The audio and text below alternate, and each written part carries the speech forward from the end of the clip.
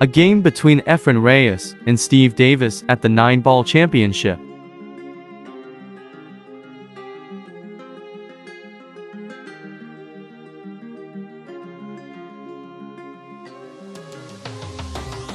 A double-purpose shot by Davis, try to pocket the 8 ball at the left corner pocket and a safety if he miss. Steve Davis was a snooker legend and a world champion.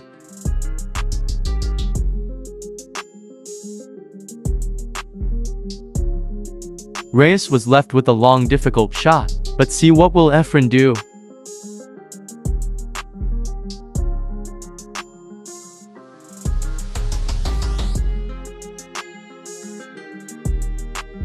A long bank shot to the left corner pocket. Amazing. Please comment and don't forget to subscribe.